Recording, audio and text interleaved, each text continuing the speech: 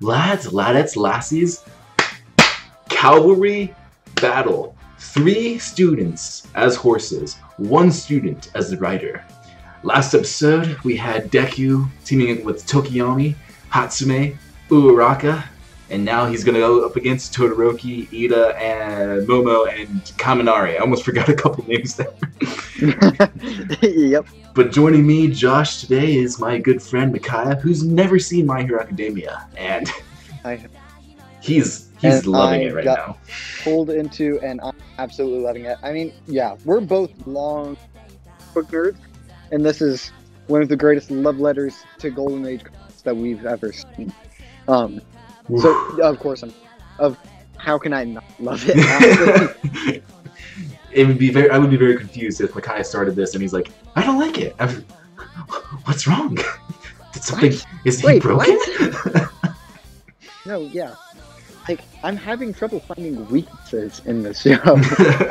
aside from the apparently typical weakness that anime has of it not knowing how to resolve shows.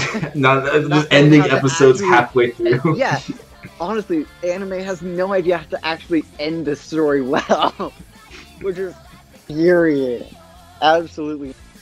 Oh, But if you think it's infuriating now, just like the Uh, people that wait watch this like, week to week, like ah, I have to wait a week. It, it's an addictive rage, is what it is. It might be a brilliant marketing move if they're actually trying to make it a marketing move. I just don't know if it's intentional or not. I really don't know. Ugh. But yeah, I think it it's a marketing like- move. I think it's a marketing. I honestly think you're right, actually. Oh, interesting. Okay, so I'm looking at the thumbnail for this next episode, uh, and it looks like we've got uh, Deku using his power on Todoroki, and Todoroki fighting with his left side, which he said he never used it. Oh, that thumb. And That's, that's a naughty. that's a naughty thumbnail. Very naughty thumbnail. But so it's also making me seriously hyped. Let's get into the context of the thumbnail. Let's start this reaction.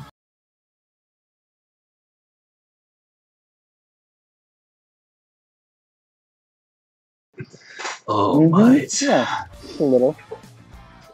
Oh, so how was the cavalry well- battle? I mean, okay. I'm glad I was proven right. A little bit. I'm a little bit disappointed. I have I have very mixed emotions because Deku lost, right? and last episode we talked about how I had no idea what was about to happen. So I'm glad that I had no idea what was about to happen. Almost glad in a way that he lost because it means there's still stakes. But he still lost. Well, like Didn't get first place. again, it, it's so he's not perfectly OP. like yeah, he's not perfectly OP, and like this is a, it's like a tournament arc. So like you're, you're basically Yeah. uh, you, you know, you're you got like all the you, you got to go through all these challenges. So he, he doesn't have Yeah. to win them all, right? No, yeah. So, but, But yeah, I really yeah. do appreciate the fact that they had Deku lose. Like he won the first one, and then he just lost the second one. Yeah. hmm Honestly, it's eh, he won and lost both in such spectacular ways too. Yeah. Yeah. Oh man. So um, So that was just really good, really intense. There was so much strategy. Good lord. you see, like that's another thing with like um, you know, like uh, like uh, American cartoons, and you can't really do this in live action because it comes off as really goofy.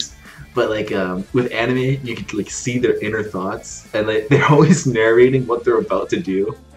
Yep. which it plays into the strategy, and I love it. Ah, it's so good. Oh yeah. I feel like I'm actually learning about strategy this way because, uh, confession, suck at any strategy. Like any and all of them, I'm terrible at. I feel But- that. Just by analyzing their strategy, I feel like I'm actually learning about strategy. Are we gonna be playing Halo, and you're just gonna be like spouting out what strategy? I'm gonna start muttering like Deku. All right, Josh, you have to take the left left, left flank where they're weakest. Anthony, you go straight forward because you have the best name and the strongest character. Honestly, my strategy for Halo is run around, shoot them in the face. Run around and be as accurate as possible. yeah. it really doesn't work very well. I probably should be a bit more strategic, actually. Um, Uh, I mean, but, like with yeah. shooters, I just like I, I'm I, I don't even try with shooters. I know I'm bad. I, I don't really have a strategy because like I'm not the best with aim, so it doesn't really matter if I have a great strategy. But mo- no, literally any other game, I'm always playing like stealth. Like I'm, I'm the stealth. I'm the guy that kills you from behind. the stealth archer, yeah. yeah, the stealth archer, stealth Well, stealth dagger. just it's the strategically best way to do it. go. You can have the most damage for the least risk Exactly. every single time, guaranteed, hundred percent. So yeah. After, uh, you play Skyrim. I, I've not started Skyrim. Oh, dude, Skyrim. I know I If need to any game that's the epitome, epitome of the stealth archer combo, it is Skyrim. Like even more so than the Batman, honestly. Um, it's oh Batman. actually, Modern Warfare is really good about stealth too, which is surprising considering it's a shooter and you have guns. But man, there's some of those silencer levels, like all gillied up. Oh, so good. No, but Skyrim. You've seen the memes, you know that. yeah, the silencer memes and Skyrim memes too. Oh, Oh, the Skyrim memes. I just it's it's a Hey, cla- wasn't it's a an arrow cla- poking out? it's a classic meme, but like oh, you're finally awake. Yeah. like that one, like yeah, the girl I like asked me out. Um, I win the lottery. I'm actually happy for once in my life. Alarm clock. Oh, so you're finally awake. Yep, yeah, pretty much. uh, but like uh, we we Um, kind of so saw You need to play Skyrim. we saw like a quirk quote unquote evolution. It's not really an evolution because Iida's had it all this time, but we saw like a power up with Ida. And, Yeah, um, Yeah, yeah. his uh, super speed, super super speed. Dude, just imagine if quirks could evolve in this. Like, if they could somehow add on another ability or a, they could change the way they work mid show, just imagine what they could do with that. Holy cow, that'd be incredible. Yeah, it- Um, but I mean, for some of them, like, you, you can't really evolve one for all that much. um, yeah. it's basically just fight really hard, punch really hard. You know, I thought you were gonna, I thought you were gonna say like Uraraka's gravity quirk, but no, you just went straight for one round. Oh no, no, definitely. Well, Uraraka, actually, I could see some way for evolving it, where it's like, um, uh, let's. Mm, maybe she could turn off gravity in a field around her instead of for specific objects as well. Um, that could be interesting. Uh, see, she can hold it for longer, of course. Uh, and she, I mean, I guess the throw up thing would have to stay because that's a limiter. Um, That's like let's see, the, fields. yeah, the throw up thing is basically like the Oh, duh. And of course, direction or, or the direction. the direction of where it goes. So instead of like just Yeah, floating something, it kind of like becomes more of a telepath then. Um, yeah. So basically, it's like, uh, what's it called in the Stormlight Archive? oh, I'm trying to going through all the powers now. oh, oh, what the heck is it called? Dang it! Ah, Battery. No. just describe it, and like someone will correct you in the comments. Yeah. Tethering, whatever. The thing, yeah. Te- I think it, it is. you can. It is tethering. Yeah, yeah, yeah. Is it? I Is think it I, I'm fairly I don't certain think it is. I really don't. Think it is. Somebody in the comments will know about Stormlight Archives and they can correct that. And then you can like their comments that it goes all the way to. Yeah, yeah. I'll, I'll, give it a Oh. heart. I'll pin it. Yeah, yeah, yeah. Uh huh. Uh, but yeah, basically, it's that idea. You touch something and you change the direction of the gravity for it, so you can attract it to something else and basically create a magnet with it. Uh, you can just send something flying straight up. You I- can.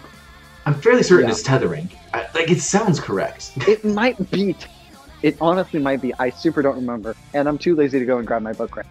But yeah, she could basically do that for her evolution. too. Oh man, that would be that would be really cool. Like That would be Ah. really. the combat capabilities of that. The combat capabilities are insane. Well, you read. Oh, you've only read the. Like- Shoot. Like I, The read even the first book of um, Oh my Stormlight. God. Sanderson gets so nuts with it in the second book. Oh, you gotta read. I got to I gotta get them. Uh, actually, I guess that's what I could spend my money on. Oh yeah, finally. Yeah. Heck yeah, do that. Dude, the heck not. Um, actually, yeah, for those of you reading or watching this video, if you haven't read Brandon Sanderson's Stormlight Archives, be warned.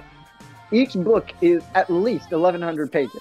At And least. At the moment, there are four of them. It's going to be a 10 book series. But it is absolutely incredible. And fantastic storytelling, fantastic characters, fantastic world building, and honestly, some of the best books that I've ever read. Um, so, cannot recommend. um, Bruh. uh, I want Brandon Sanderson. I, I want the Storm Mario Bros. to get an anime adaptation. you know it would be actually, I good. can high key see that. High key, like it'd make a really fantastic anime. Ugh, it would be Yeah. beautiful. Cause like Yes. Yeah. you, you don't have to. You, you do have budget concerns with anime, but like it's gonna have its. It would have its own art style. You don't have to worry about it like aging terribly with CGI No, and you really don't. Yeah. So, like- yeah, exactly. And you wouldn't have to worry about CGI. Yeah, you wouldn't have to worry about CGI. So, yeah, anime it, like Brandon Sanderson, give the rights to uh, some animation studio. As soon as he finishes it, he's got to finish it first. Is the problem. um, Ah, and Lord, those books are insanely long and take a ridiculous amount of time to write. Um, but yeah. Whew, okay, I think that's all my thoughts on this past episode. all right, lads. So, thank you all very much for watching. If you enjoyed this, make sure that you hit that like button because that helps support the channel. And what helps support the channel even more is by you subscribing because that shows that you actually do enjoy watching this week to week with us. Uh, I'm doing other anime reactions like Gurren Lagann, Promise Neverland, Attack on Titan. Uh, those when those dubs come out uh, for the latest seasons. Um, I've done the first season of The Promised Neverland, and I do want to take Micaiah through more anime, but we need to finish My Hero first. Yeah, honestly, we really do. I've got a I've got a list of like I, I got a couple of them that I think you'll enjoy that aren't like weird. yeah, they're entertaining Yeah. enough to like be considered like reaction worthy, but they're not weird. so yeah. at least I hope they're not weird. but yeah, lads. if you want to see Micaiah jump into like my taste of anime, uh, subscribe because th- there will be more, and there definitely is going to be more My Hero. So see you all, lads, next week.